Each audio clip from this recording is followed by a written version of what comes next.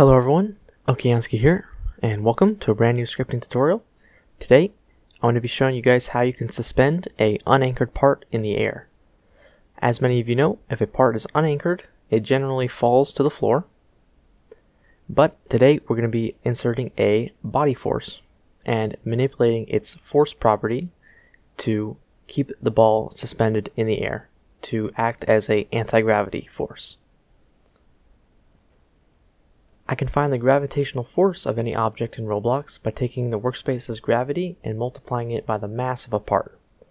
I can make the output print this out print out this force and then just copy and paste it into the y component of my body force object. Since this is in the opposite direction of where the gravity is pulling, my part is now completely suspended.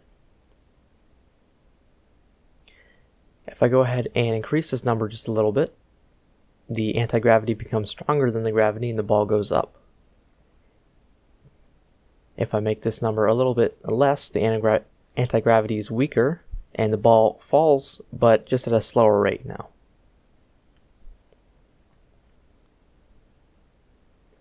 Alright, let's go ahead and delete the body force object and let's insert a script. And I want to show you how we can have a script do this for us instead of having to do it manually.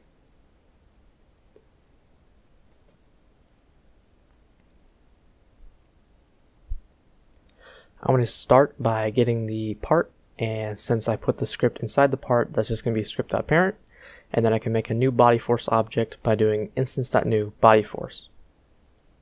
I'm going to use my anti-gravity formula from before, gravity times the mass of the part by doing part get mass and then I'll apply the force uh, onto body force by making a new vector 3 and putting the anti-gravity in the y component.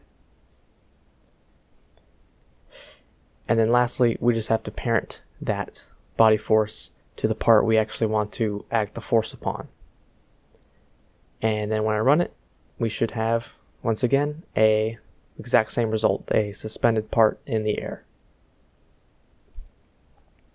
If I go ahead and add a little multiplier to this anti-gravity, uh, we can make it stronger or weaker. So if I multiply it by 1.1 here, I made it a little stronger and now the ball flies straight up.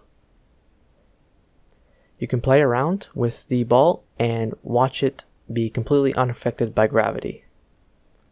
Like so. Alright, so here's a little example of a fountain I made where parts are constantly being cloned in the top of the fountain and then given a velocity that shoots them into the air. Uh, right now, it looks a little bit uh, hard to look at because parts are just kind of flying everywhere, so I decided to add a body force to it to give it a sense of anti-gravity. And for the y component of the force, I just made it uh, slightly weaker than the anti-gravity needed to suspend it by doing get mass times gravity times 0.9 just to make it a little bit weaker. And then I played around with the velocity that I added to each particle or part, and it turned out really nice. It made it a little bit more dramatic and much, much easier to look at. And overall, much more prettier. You can download this project in the description below, and if you have any questions, feel free to send them to me in the comments or on Discord. I'll see you guys in the next one.